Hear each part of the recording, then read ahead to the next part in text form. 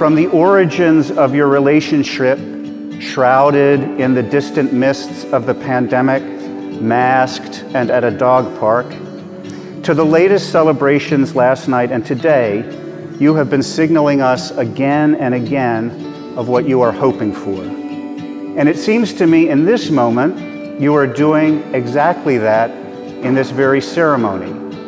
And especially through the readings from the Bible that we have just heard and that you selected with so much care over the last few months.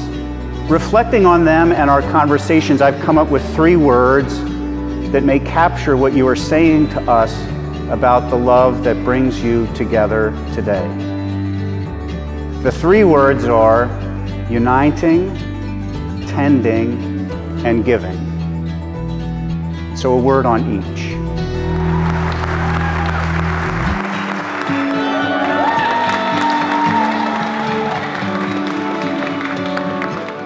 Few short words, two shall become one flesh, but so powerful. Now I know at last what has caused my heart to throb and ache so long.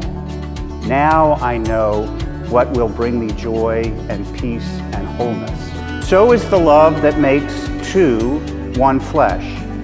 It is a love that is full of energy and excitement, a love that causes hearts to ache and makes whole and happy, a love that expands old households and founds new ones, a love that is full of heroic self-giving and passionate desire for union a love whose embrace fuses together every similarity and complement and opposite of the two joined together.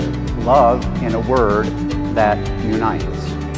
Love, Paul writes, is patient and kind. Love is humble and true. Love bears all things and endures all things. Throbbing hearts get tired and wear out. Other things push love aside. But this is exactly why Kaitlyn and Corey's choice of St. Paul's letter to the Corinthians is so instructive. It brings us down from the unrelenting but exhausting excitement of Adam and Eve, down to a love that is ready for the long haul, is tempered by failure and weakness, is strengthened by humility and self-probing, is grown with patience and forgiveness, whose strength is ensured less by the drama of its beginning, masked and in a dog park, than with the steady efforts at its tending, even when tending might be a little boring. Such love, Kaitlyn and Corey signal to us with great humility, such love is not earned or deserved or argued for or owed. It is gift. It is a gift to be celebrated and reverenced and cherished. And as much in its first year as in its 67th.